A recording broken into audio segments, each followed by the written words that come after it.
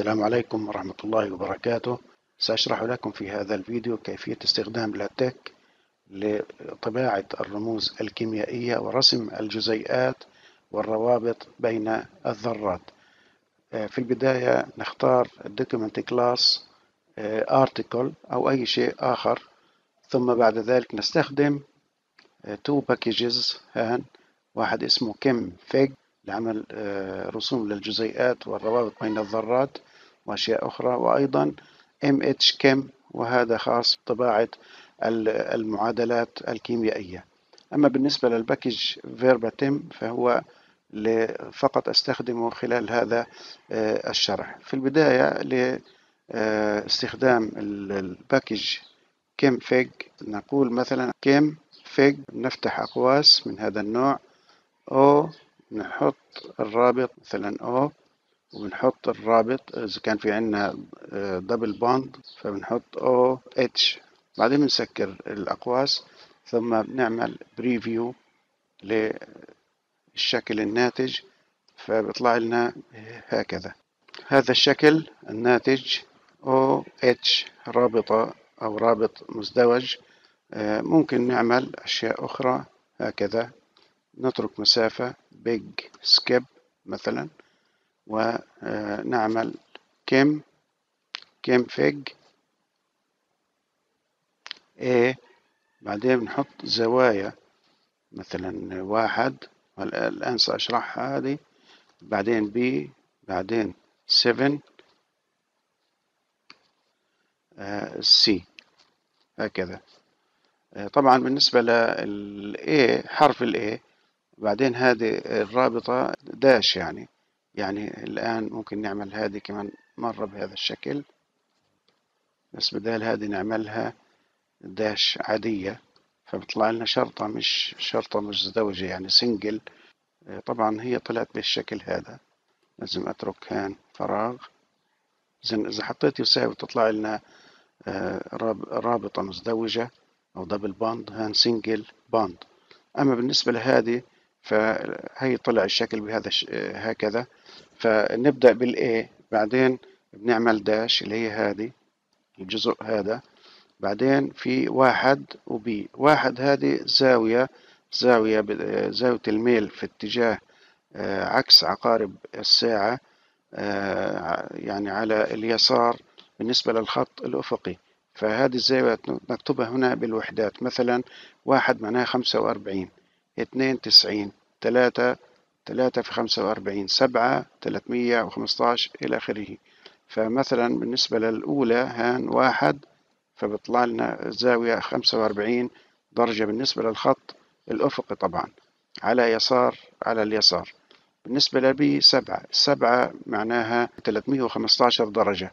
نطرحها من 360 بصير زاوية 45 بسالبة. فالسالب معناه على اليمين مش على اليسار. مثلا لو بدنا نعمل كمان مثلا شرطتين أو double bond زي هيك ونحط الزاوية مثلا اثنين نحطها مثلا دي زي هيك. فبيطلع لنا الآن اثنين معناها تسعين. بالنسبة للخط الأفقي هاي التسعين طلعت لفوق تسعين. خمسة وأربعين وخمسة وأربعين تسعين.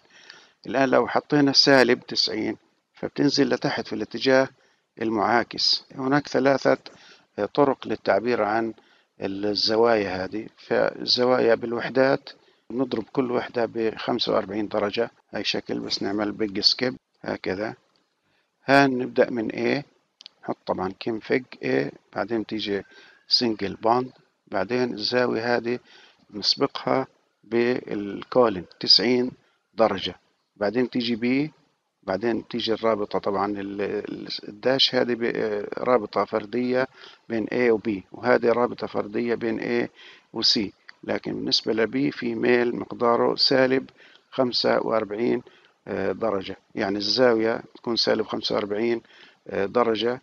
والسي طبعا في إشارة شرطة واحدة للدي وفي خمسة وأربعين درجة. فخلينا نشوف هذا كيف الشكل الآن بيطلع لنا. فبيطلع هكذا. إذا هاي الشكل هي A بعدين تسعين درجة طبعا في اتجاه عكس عقارب الساعة.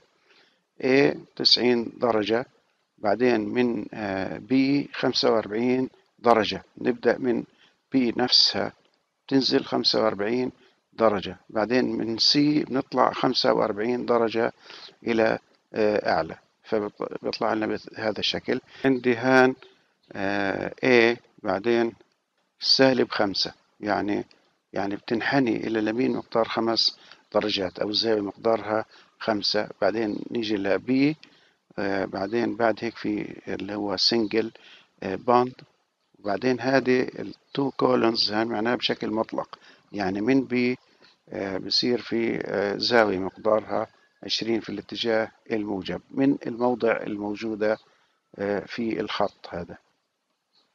وبنستمر بهذا الشكل عشرين بعدين عشرين بعدين عشرين بعدين عشرين بعدين عشرين. فالآن بيطلع لنا تقوس على اليسار.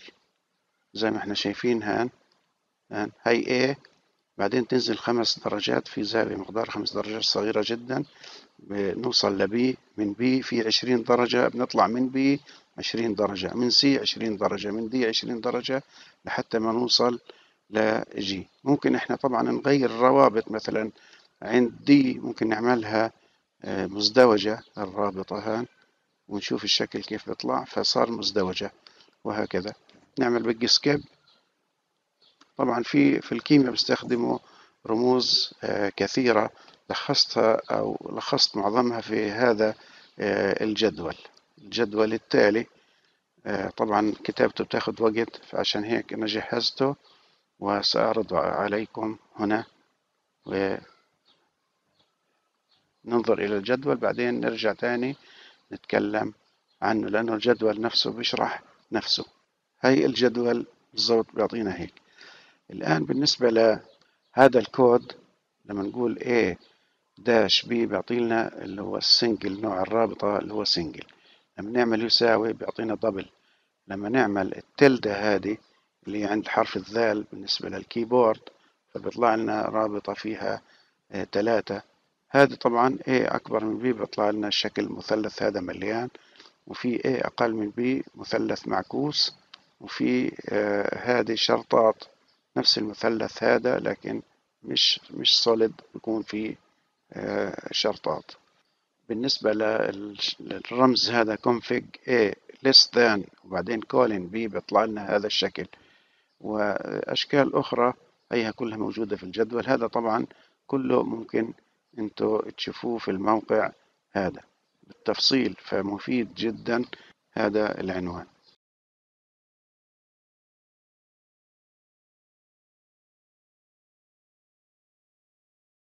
نرجع تاني للكود اللي إحنا عملناه. طبعا هذا الجدول بيعمل الكود بكتبه كما هو كما إحنا بنستخدمه بعدين النتيجة. هذا الكود وهذا نتيجته هذا الكود وهذا نتيجته. الآن نأتي باختصار للمعادلات.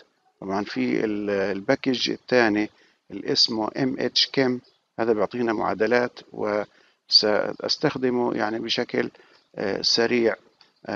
مثلا نقول له هان big skip عشان chemical equation CE ونحط مثلا H2O نرسم لنا جزيء الماء فبيعمله بشكل سريع وسهل. ممكن هان نعمل big skip تحت نحط رمز زي هذا. هيك بيعمل لنا معادلة معادلة جميلة. لو أنتوا بحثتوا في جوجل عن ال MHChem فبجيب لكم ال package بيشرح لكم بشكل مفصل. وشكل جميل جدا.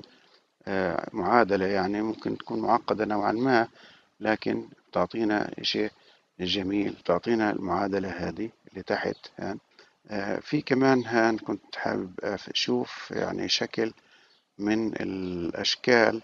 شايفين كيف جمال الليتك الليتك يعني استخدم ليس فقط لطباعة الرياضيات والرموز وإنما لطباعة أشياء كثيرة وإلى اللقاء.